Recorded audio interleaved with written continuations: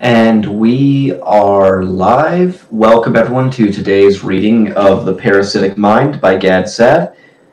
Uh, this is yet another stream with my co-host Alex Miceli. You can find a link to my Substack in the description. Here is the text we're currently working on.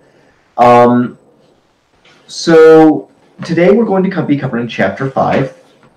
And Chapter 5 is entitled uh, let's see here.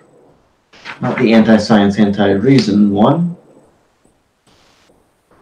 Uh, chapter 5 is entitled Campus Lunacy, The Rise of the Social Justice Warrior. Publius Regilius Maro and Bridger E., hello, nice to see you both. Thank you both for showing up. Um, I'm always happy to see you two here, and I'm always happy to uh, to have consistent guests. So thank you both for coming on. Um, please, everybody, remember to click the like button and to sign up on the Substack so you can get the dispatches from me whenever I write. So here, I'm going to go ahead and read the first few paragraphs of this um, of this chapter to give us an idea. One is an excerpt from the essay, I'm a liberal professor and my liberal students terrify me. Oop, let's adjust here a little. I'm a liberal professor and my liberal students terrify me. Um, and he says, I'm a liberal professor. My liberal students terrify me. I have intentionally adjusted my teaching as the political winds have shifted hurting a student's feelings, even in the course of instruction that is absolutely appropriate and respectful, can now get a teacher into serious trouble.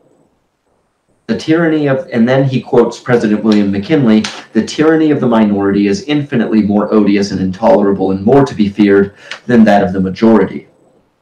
Student activist social justice warriors might be outnumbered on campuses, yet they rule via the tyranny of the minority backed by progressive professors and campus administrators.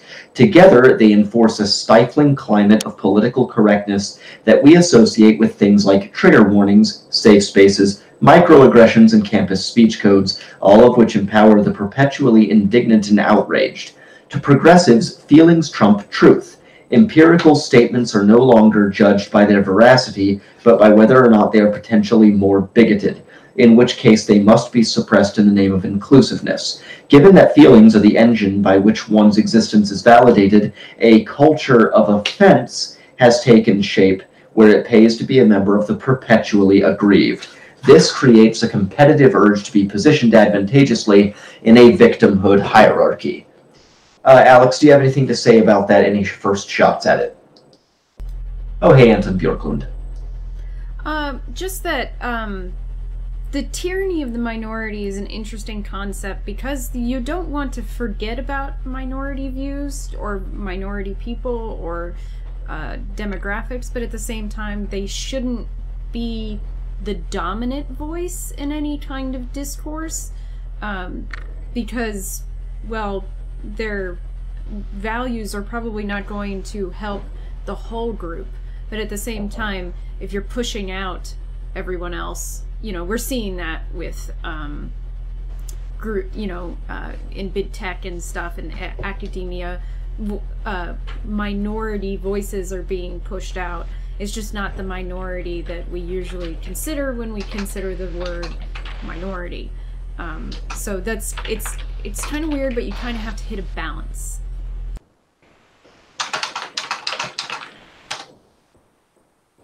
Yes, indeed. Uh, just wanted to say hi to everybody present.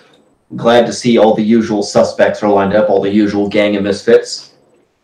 Uh, I'm going to continue reading a little bit to give us a little bit more fodder for discussion here.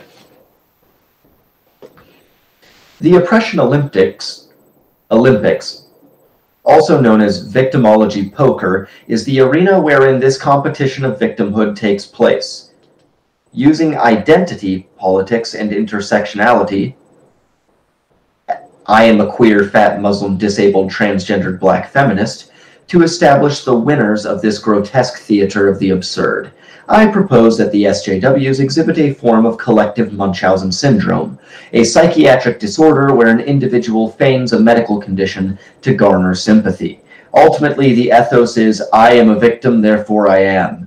This fetishizing of victimhood was alluded to long ago by the eminent British philosopher Bertrand Russell in his essay aptly titled The Superior Virtue of the Oppressed. And of course, the response to this, if you were to raise this argument to anyone, would be, oh, well, Russell was a white male, so he's wrong and you know their reasoning may perhaps be a little more nuanced than that or a little more elaborate but the fact of the matter is is when you boil it down that's ultimately what it comes down to. There would be a big backdrop and the backdrop would consist of things that we went over in cynical theories about why bertrand russell's being a white male makes him wrong but regardless the whole point of this is that um the whole point of this is that Bertrand Russell's demographics are irrelevant. He has already pointed all this stuff out. This was all alluded to a century ago. And I would say, uh, although Russell might not like to hear this if he were still with us, Nietzsche in chapter 29 of Thus Spake Zarathustra covered this more effectively than anyone else. He foresaw this by more than a hundred years. Now, it says here, even if you hold a strong hand in victimology poker, do not presume that the progressive mob of SJWs won't come after you. The best-selling author, Ayaan Hirsi Ali, is a Somali woman born into the Islamic faith who faced personal hardships at the hands of a deeply patriarchal and misogynistic society. The political host, Dave Rubin, is a gay Jew who used to be a proud member of the left. The journalist Andy Ngo is a gay Asian man. Once they violated central tenets of progressivism, criticizing Islam or the radical left, they lost their protective identity shields. So, for example, I have a co-host here who is a uh, who is an atheist, child-free woman who, in prior decades, may have called herself a feminist had she been born earlier. Um, you know, in terms of things like suffragettes or what have you. But interestingly, uh, that all interestingly, that all just goes away uh, if she breaks the if she breaks the ideological sort of um, if she breaks the ideological rules, let's say. So all the people that he listed were people who have a lot of minority cred, and all of the, those people were people who you would normally think would be protected by their identity status. But as soon as they criticize uh, leftist orthodoxy, what happens is, is they are immediately set upon and ousted. And you'll also notice that there are a lot of uh, there are a lot of straight white males who um,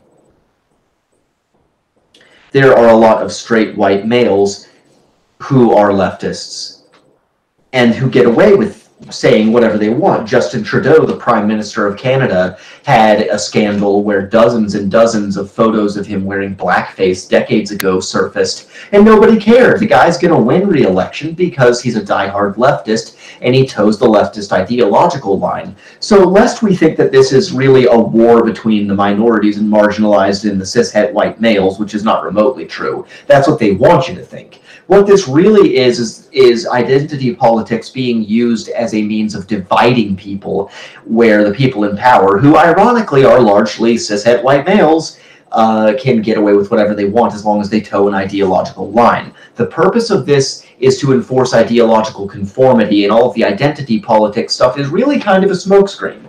Uh, Alex, what do you have to say about that? So, and th- this is pretty true because one of the things about this is that the people who are, you know, most of them are, as you say, um, in power are cis white, you know, males, heterosexual.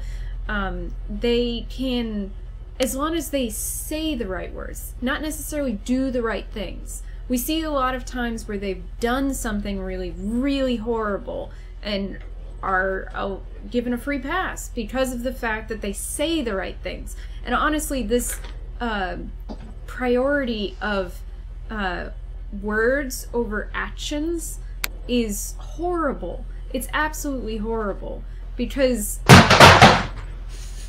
My bad. That was my keyboard. Okay. Um, because it results in it results in some actual injustice. If someone commits a crime when they're in power, and then but because they say the right things, we're not going to hold them accountable for their crimes who that probably you know could have had victims involved then that's real injustice. That's real you know uh, imbalance. And they're they're okay with that. And honestly like that's one of the reasons why i'm so against this. Um, and you're right about the um, the shield of you know m- minority poker going away as soon as you don't say the right things. It does not matter to them at all. They have all these you know amazing ad hominems to throw at people once they no longer agree to their ideology. Um, for women, it's the pick me, internalized misogyny, that, uh, you know, self hating woman, take your pick, brainwashed, uh, handmaiden. Um, but then, uh, then they have them for uh, black people too. They have the race traitor. Uh, Coon is a very big favorite of theirs for that, and we've seen them use it on people. Um, and it's it's honestly really horrifying um, to see that kind of thing happen because it promotes the idea of the monolithic identity, which isn't realistic. It's not true and in fact it's reductionist. Um, it reduces anyone's um, real journey to you know who they happen to be, and that's that's really horrible. That's absolutely horrible.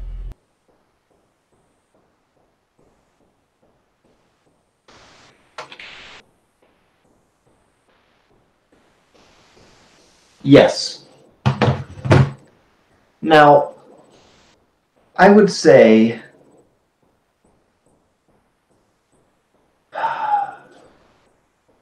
I, I would say that this there's a sort of game plan on the part of the elite. Not to sound conspiratorial, because much of this is organic. And this is one thing that I will have to say in preparation before I say anything else, because I think that there is a very um, I think that there is a very common smear tactic that is used to silence critics of this sort of thing, and that is that they're conspiracy theorists. Now, here's the thing. There is a difference between a centralized conspiracy and a decentralized organic behavior. If you look at a flock of birds, for example, the flock of birds does not have some central bird that plans everything. They all just follow the same rules. They all just follow the bird in front of them, and the flock as a whole demonstrates coherent behavior.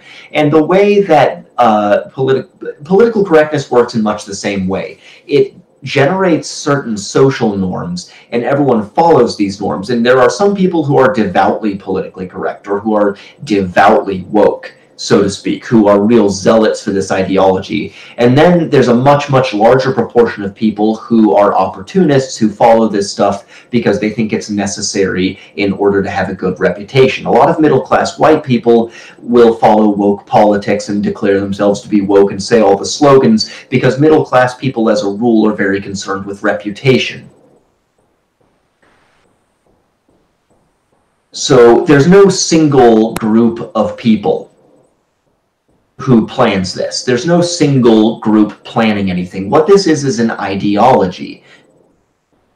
And this is where progressives will just where you'll just lose them. Progressives, I have noticed, have this thing where they will play dumb and pretend not to understand anything you say to them. Uh, if you try to talk to them and explain this, they'll be like, "What? Huh? What are you saying?" You know they, they have this weird thing where they suddenly lose the ability to comprehend english as soon as you argue with them about politics. So what they'll do is they'll just sort of space out ignore everything you say and then start lecturing you on how you don't understand their politics. And this is what they do every time you try to argue with them about anything. And then they'll come back with some sort of uh, they'll come back with some sort of straw man or some sort of Motte and Bailey argument. In other words, and a Motte and Bailey is really a straw man of oneself that makes oneself look better uh, than they actually are. So you have to research what a Motte and Bailey doctrine is, and I'll put that in the chat box. You can Google that later.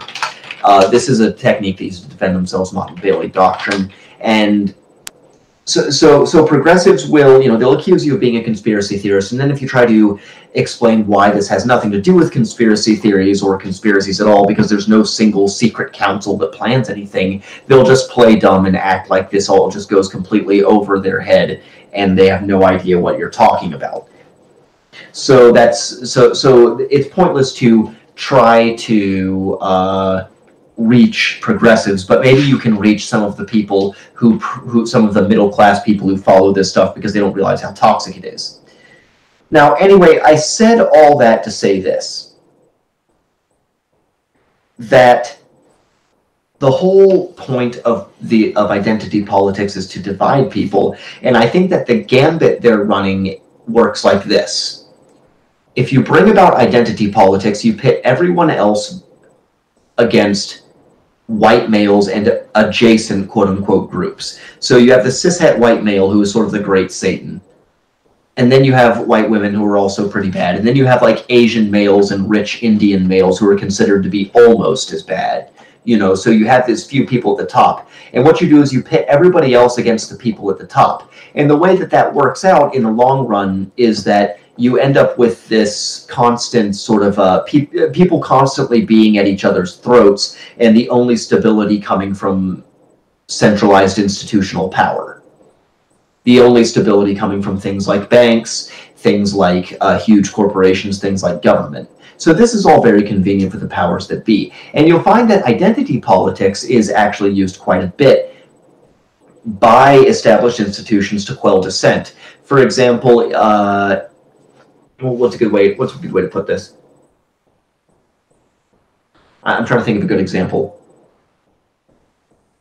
You know, if you if you attend a diversity workshop that your employer puts on, and your employer is a Fortune 100 company, you know, some huge corporation, so you so you go to this diversity workshop for your employer, they'll be using a lot of this divisive incendiary rhetoric that pits everybody against everybody else and then nobody criticizes management. So that's just a small microcosm of how this works, but really it's it's usable everywhere. And also, um, you know, there's there are a lot of manufactured crises, I think, that or not manufactured crises per se, so much as crises that are taken advantage of by by institutions. So for uh, you know, it was Rahm Emanuel who was a high who was a high level civil servant in the United States and served in a number of presidential institutions, made the remark once Rahm Emanuel did that you should never let a serious crisis go to waste, meaning you should never let a crisis go by where you don't use it as a way to do things that you thought you would not be able to do before. So for example, this whole the, during 9/11, they used that as an opportunity to pass the Patriot Act and create this huge surveillance apparatus. Um, they used the coronavirus as an excuse to put out all these uh, new regulations and security measures. Well, security measures and then you have an article recently in Forbes stating, oh, we need to prepare for a permanent pandemic. And then if the whole permanent pandemic based on coronavirus variants doesn't pan out, then it's going to be the climate crisis with climate lockdowns. You know, it's going to be one thing after another. And every 20 to 30 years, some crisis will happen that the powers that be can use as an opportunity to go, oh, oh, we have to reach, we, the only way to, to solve this is to give away more of your freedom and it's not, again, there's no central group of people that plans this. There's no central agenda here. It's kind of undirected. This is just kind of how institutions are. And if you want to see why this is so, just ask yourself the question at what point will any entrenched institution turn down an offer of more power? When will a large corporation or a government ever say no to more power? Uh, Alex, anything to say? Yeah, a big part of that is just basic human nature, though. Like a lot of people, once they they even were poor and they climbed to the top, and they still want more power too and more money. And it's it's kind of it. it I mean, that axiom "power corrupts." That that has some truth to it.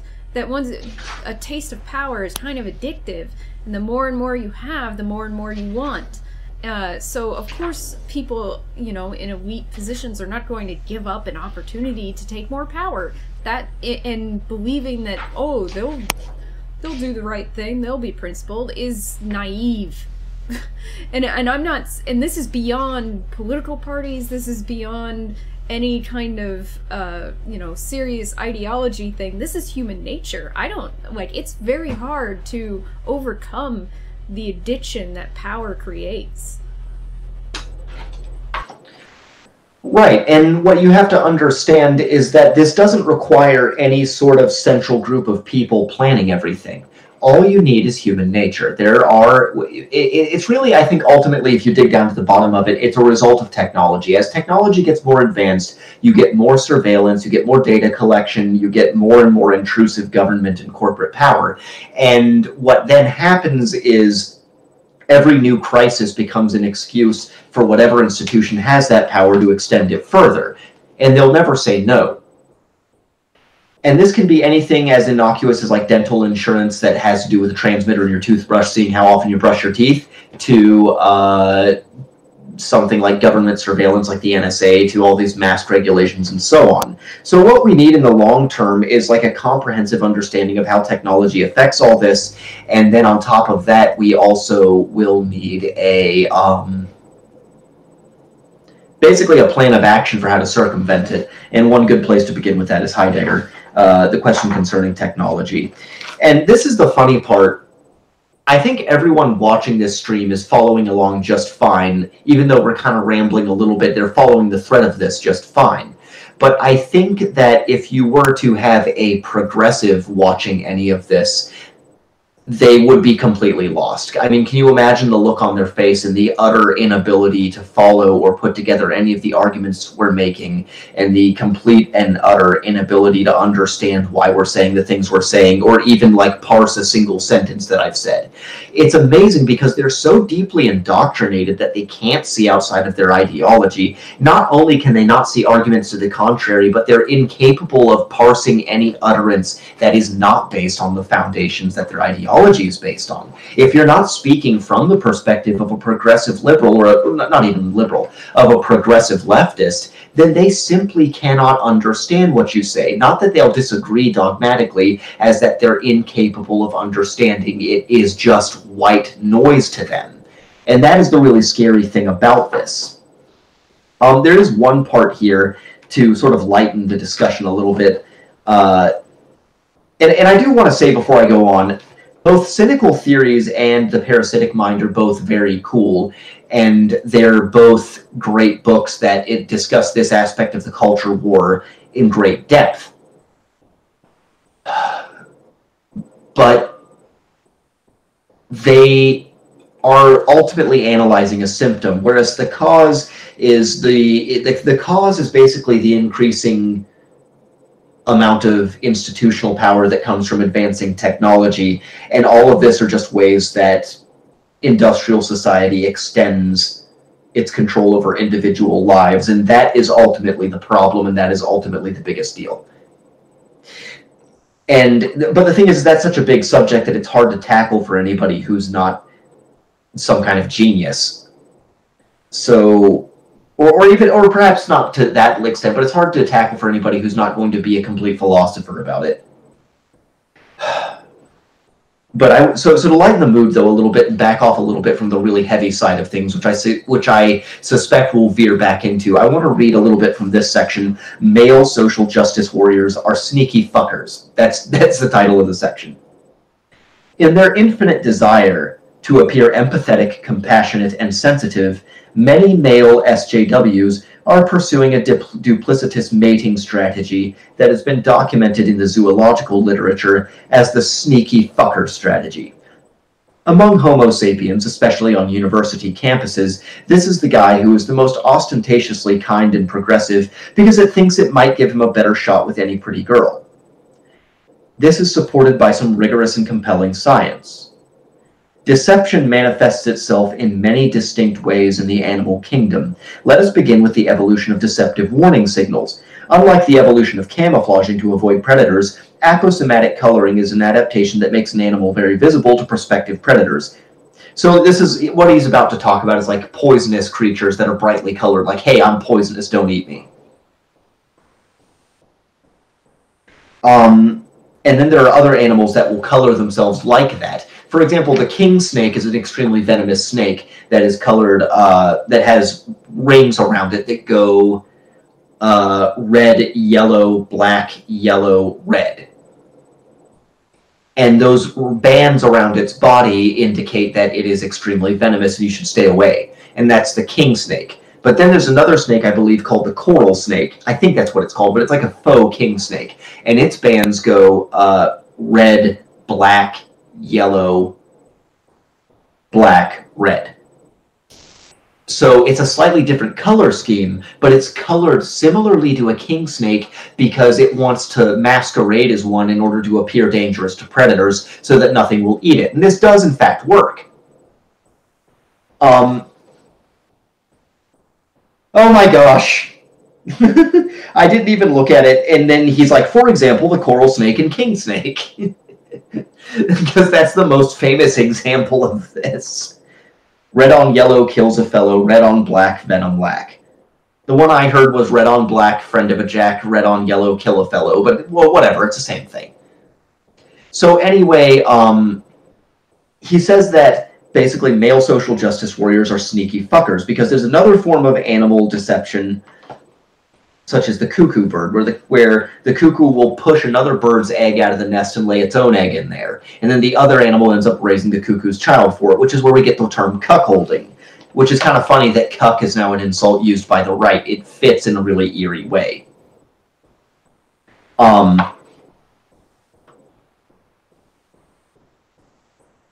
Women hold a universal preference for men who exhibit cues associated with high social status, including intelligence, confidence, ambition, the ability to procure and defend resources, and social dominance. Few women throughout our evolutionary history were driven to sexual frenzy at the prospect of mating with an apathetically lazy, pear shaped, nasal voiced, submissive, cowardly, whiny man. Not surprisingly, across all known cultures and eras, men have sought to gain status as a means of being attractive on the dating market, but they've done so via a broad range of trajectories as a function of their unique talents and life circumstances. So he goes on to say, My familiarity with this form of mating duplicity has led me to apply the sneaky fucker stratagem to a specific human context. I posit that many male social justice warriors are akin to the giant cuttlefish. They don the accoutrements of a sensitive and non threatening male via their ideological commitment oozing with progressive empathy. In a sense, this is akin to the sensitive guy who befriends women and offers them endless emotional support with the hope that it eventually pays off romantically. Back in the 1980s, John Hughes was responsible for many of the iconic teenage themed movies of that era, including 16 Candles, The Breakfast Club, Ferris Bueller's Day Off, and Pretty in Pink. In the latter classic movie, Andy Walsh, played by Molly Ringwald, is a working class teenager with a romantic interest in Blaine McDonough, played by Andrew McCarthy, a rich kid from the proverbial better side of the tracks. Andy's best friend, Ducky, played by Jon Cryer, who later gained renewed fame on the TV series Two and a Half Men, is the epitome of the sneaky fucker friend, always there offering his endless sensitive support, hoping that he will eventually be given his due chance at romance. Returning to the male social justice warriors, it is clear that most do not look anything like the Navy SEALs. In other words, they do not exhibit the morphological features associated with physical formidability and social dominance. There is growing scientific evidence that men's economic and political outlooks, what they think about economic redistribution, military intervention, and other topics, are often associated with their physical strength. Those who are stronger and more physically formidable are less likely to support egalitarianism and more likely to support military intervention. Irrespective of whether male social justice warriors truly believe their stated ideological positions or are merely faking it as a sneaky fucker mating strategy, it is clear that men's morphological features do indeed serve as signature of their socio-political outlooks. So, and this is kind of funny, a little anecdote from my own life, or a little set of anecdotes, rather.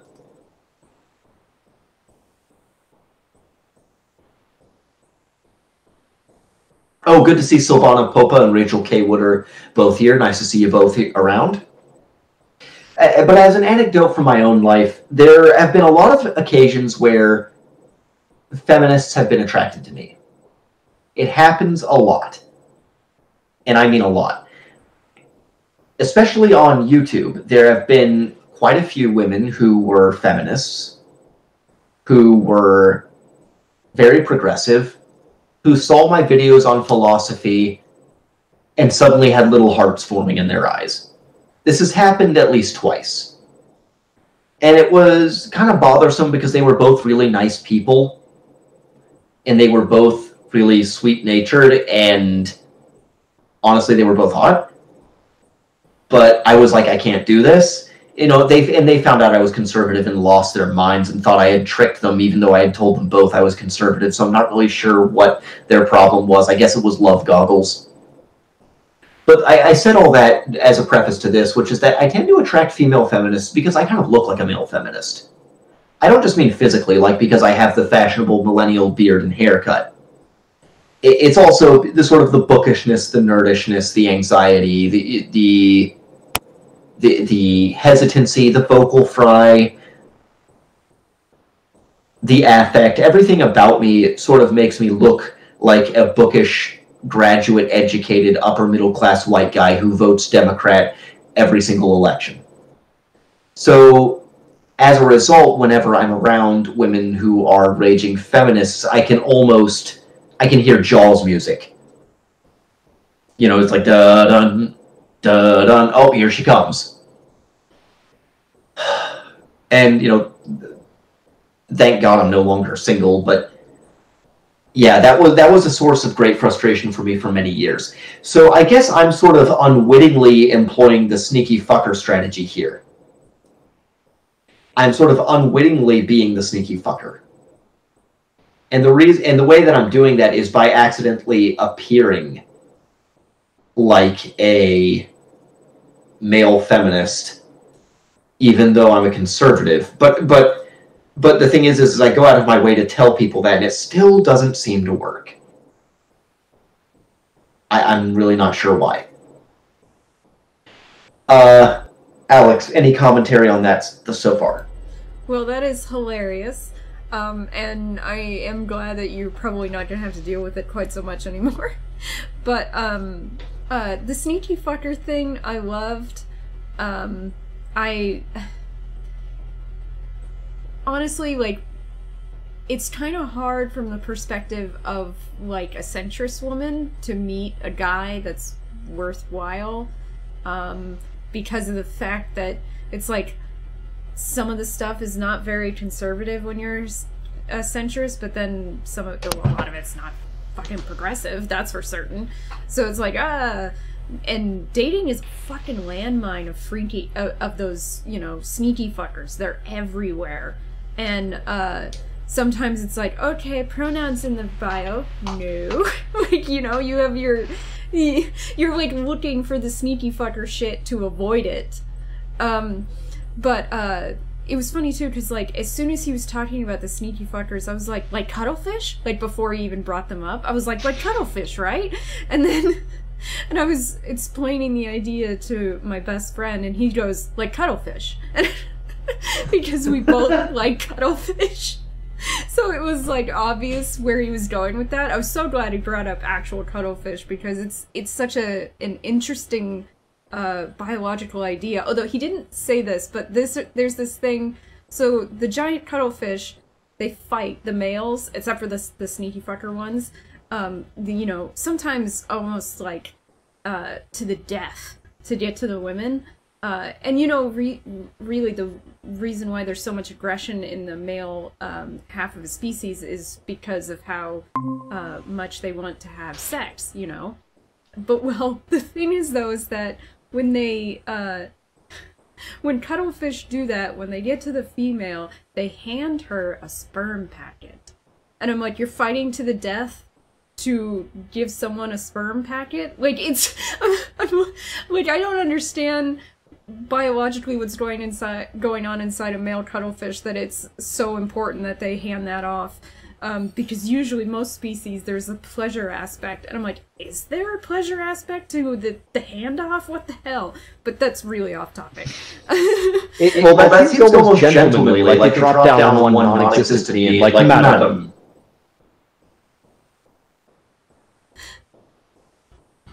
Okay. you said that. Uh, what did you say that? Could you say that again?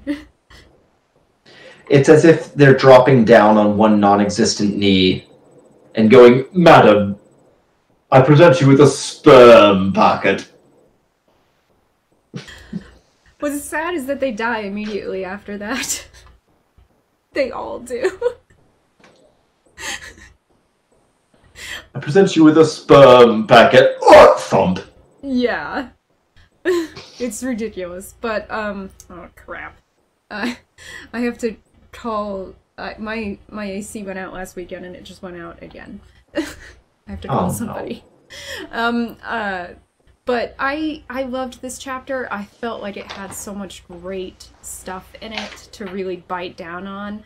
Um and the the idea of equating what I call I call male feminists to um, sneaky fuckers is just it's awesome. Uh, I think that's like a a perfect example of you know a, a perfect analogy. Indeed. Um, we'll wrap this up in about 13 minutes, I think. Uh, I did promise the War Department that I would take her for a long walk today. So we'll have to go at 3. Uh, which is, I believe, 2 your time.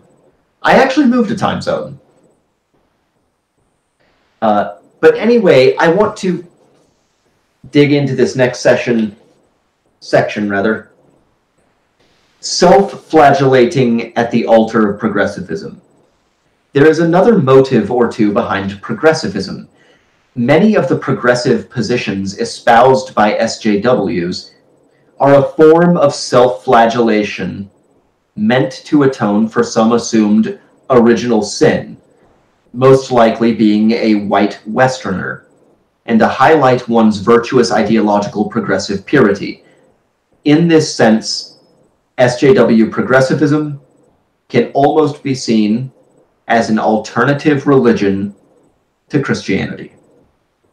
Which I, I've said this many, many times before. Progressive politics is Christianity with all of the poison but none of the antidote. There's all of the original sin, all of the self flagellation, all of the self loathing and the questioning and the endless introspection and did I make do a sin? Did I do a sin? Did I do a sin? Did I do a sin? Without the forgiveness part. Um,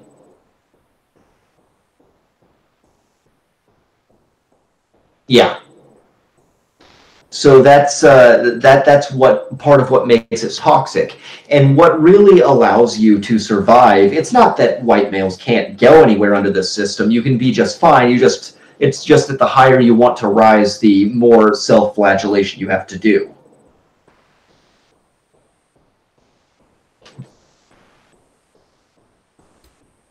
Anything to say? Yeah, I definitely agree with that because we've seen uh, white straight males succeed in this system, um, but uh, they're not the kind of people I really want to know um, or spend time with. Uh, and uh, but it's and, and and in fact, people of minority groups have been shoved out of like um I keep bringing this up because people keep talking about you know sexism in video games and he brings up Anita Sarkeesian in this one.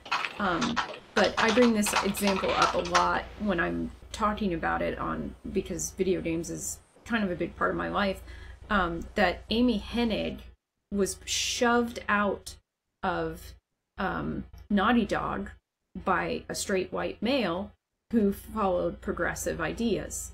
So he you know he shoved them out. He shoved her out and and and was successful while she was you know left in the dust because she didn't follow this. And um so it's so to me it's sort of like you guys talk about representation all the time but you don't actually mean it. You mean representation with the right ideas. And that's really disingenuous